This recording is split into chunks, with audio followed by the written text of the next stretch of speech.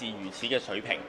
咁所以咧，除咗我之前咧，琴日已經係俾咗信誒、呃、機管局啦、民航處啦、誒、保安事務委員會啦，亦都係今日咧就草擬咗一封信咧，就交去內會嘅，就希望喺下個星期五咧就係、是、討論相關事宜。咁而我所嘅重點咧就係、是、話，我哋嘅公職人員係咪有人濫用佢哋嘅權力？令到我哋第一就係、一啲嘅誒保安員啊，導致到深受一個咁大嘅壓力，令到佢哋違反咗呢一啲嘅國際規定。嗱、香港咧作為一個嘅航空中心咧，其實係需要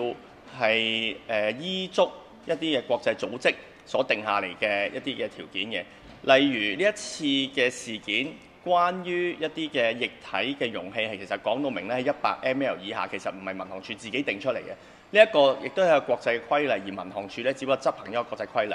咁所以如果我哋香港帶頭違反呢一件事嘅話咧，其實我哋亦都係損害咗我哋對於國際嘅一啲嘅條例嘅一啲嘅承諾。咁所以我今次呢一封信咧，亦都係誒希望咧，我哋嘅公職人員係能夠提高佢哋嘅警惕，希望咧唔好再重蹈覆轍，以此為鑑。咁亦都係咧，唔好再出現呢一啲用公職人員嘅身份嚟到欺壓一啲執行者，甚至乎係一啲嘅執法者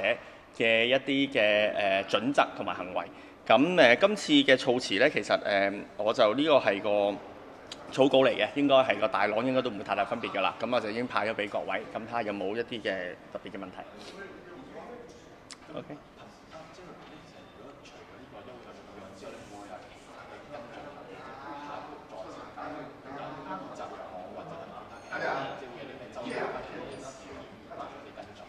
其實咧，我都誒、寄咗啲信出去啦，亦都俾咗唔同嘅部門啦，亦都要睇一睇佢正式嗰個嘅回覆係乜嘢。譬如以民航處為例啦，誒、究竟今次除咗佢哋叫咗誒、呃、機管局嚟去提交報告之外，就住呢次事件，其實而家有個乘客係承認咗自己帶咗一個嘅超額嘅危險品上咗架飛機嗰度。咁究竟佢哋會點樣跟進嘅行為呢？因為如果照法律嚟到講呢，如果佢帶咗呢啲相機，其實本身嗰個乘客已經係違法㗎啦。咁佢會點樣如何執法或者點樣做呢？咁民航處係需要向我哋交代啦。咁誒、就住佢哋點樣交代或者會進一步行動，我哋先至會考慮究竟會唔會好似頭先你所講嘅譴責行動啊咁等等。我覺得咁會比較適合啲，綜合晒所有嘅回覆。咁但係現階段我哋已經可以確立到一點，就係，就係